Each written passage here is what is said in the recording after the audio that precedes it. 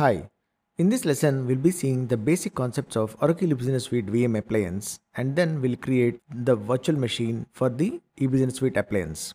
First we'll be seeing the introduction to the VM appliance, what is the purpose of the VM appliance and what do you get basically with this Oracle eBusiness Suite VM appliance.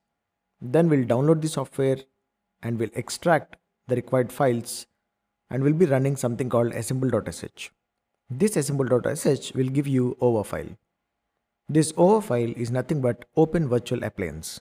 And to run or to import this Open Virtual Appliance will be requiring software such as VMware or VirtualBox. And once you import this appliance, you'll be basically creating a VM, that is a virtual machine. So what exactly is Oracle Business Suite VM appliance?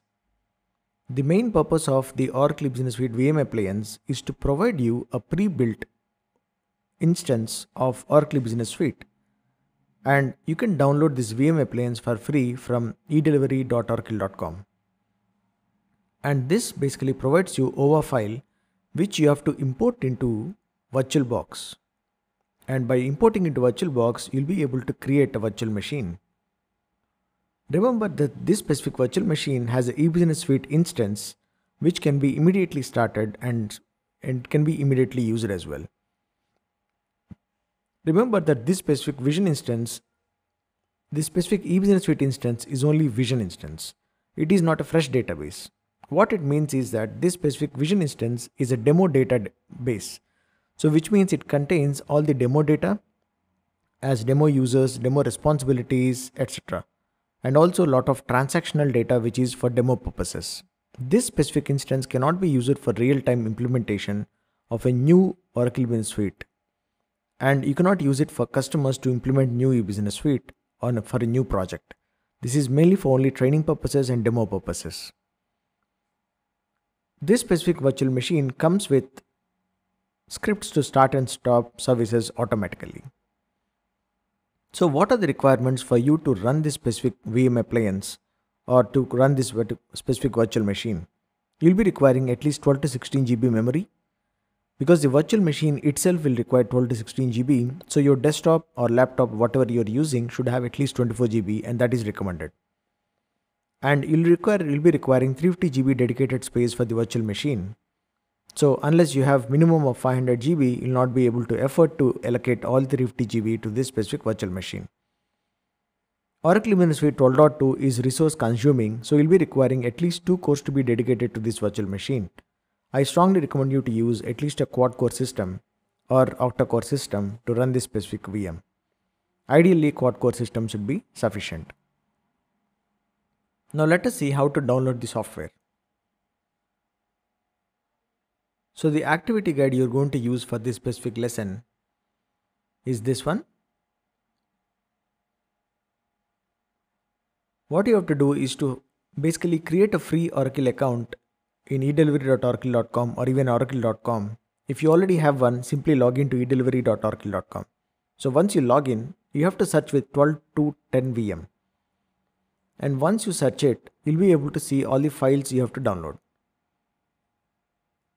So this is the search I've done here in the delivery website and click on this specific search that is release Oracle VM virtual appliance for eBusiness Suite 12 to 10.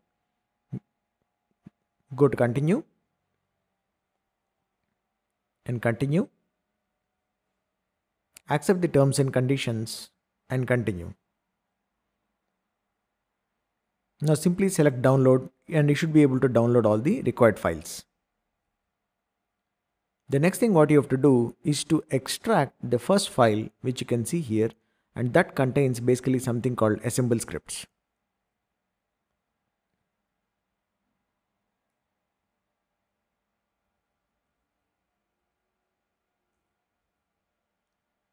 So these are the list of files which I have downloaded. So what I'll do now is first I'll extract the first file.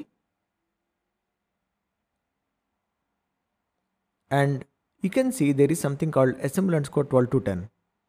Extract that as well. Now you'll get a assemble folder. In the assemble folder, you can see lot of scripts. Just copy all the files and paste them in the same directory as you have kept all the zip files which you downloaded. So now use something called putty, something like putty or ideally I think MobaXterm for example. Putty is not ideal in this case. You can use MobaXterm. So using MobaXterm, we're going to connect to the terminal of Windows and we're going to simply run the assemble.sh script. If you have a Linux host, you can also directly run the assemble.sh. So I have now opened MobaXterm and what I'll do now, I'll go to drives, D, soft and 12.2.10 VM. This is where I have all my files. Now as you can see here, there is assemble.sh script. So simply run the assemble.sh. Now press any key, simply press enter.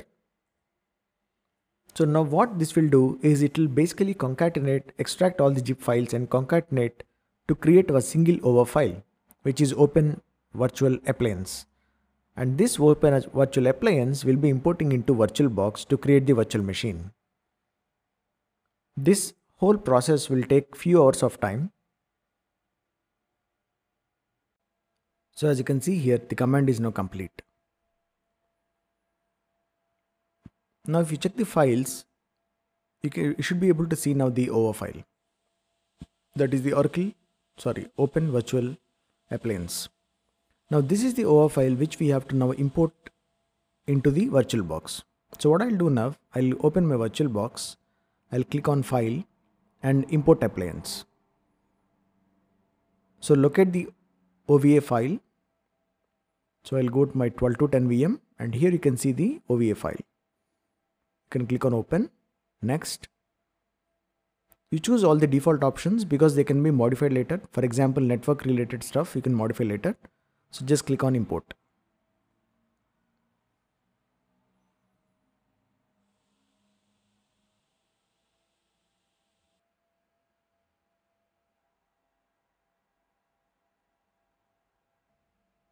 So as you can see now that the VM appliance has been successfully imported. The only change what I'll be doing right now is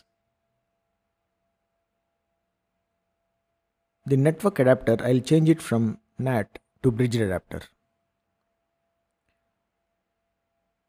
Done. And also display if it is showing as VBox VGA you can change it to VMSVGA and optionally based on the number of number of processors you have you can change it to let's say for example 2 or 4 so I've changed it to 4 and click on OK so in this lesson what we have done, we have first downloaded the software and we extracted all the zip files or the most important file, the first file we have extracted it where we'll be seeing the script assemble.sh. Once we run the assemble.sh, it will be creating a OVA file, OVA file. That OVA file I have imported it as an appliance into the virtual box. And finally in the virtual box I have changed the adapter from NAT adapter to bridge adapter. In the next lesson, we'll be configuring the virtual machine and we'll be starting the services of the eBusiness suite.